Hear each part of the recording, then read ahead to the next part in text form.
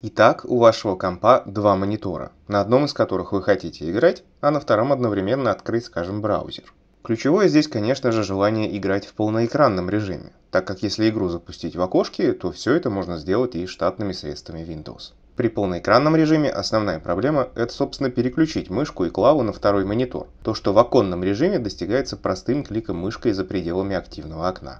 В полноэкранном режиме вы можете нажать Alt-Tab – это выкинет вас из игры в другое открытое окно или на десктоп, но полноэкранная игра свернется в значок на таскбаре, так как вы переключили фокус. Здесь нам могут помочь как минимум 4 решения. Первое – это купить в Steam программу под названием Actual Multiplay Monitors.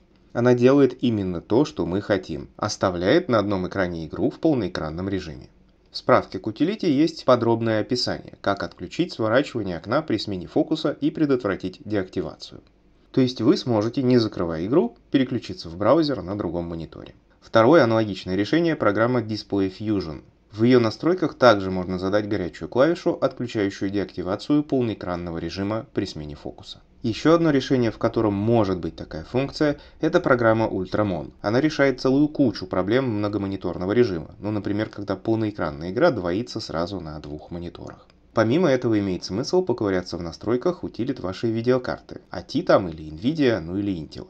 Возможно, аналогичная функция найдется и там. Кроме того, есть еще различные беспроводные технологии – VDI, Miracast, Chromecast, AirPlay и так далее. Но они больше заточены на передачу медиа-контента на телевизор, и я не уверен, что они нормально дружат с полноэкранными играми. Кроме того, такие технологии требуют прямого подключения к телевизору по Wi-Fi. То есть, если у вас интернет и так по Wi-Fi, при подключении через Miracast компьютера к телевизору интернет пропадет.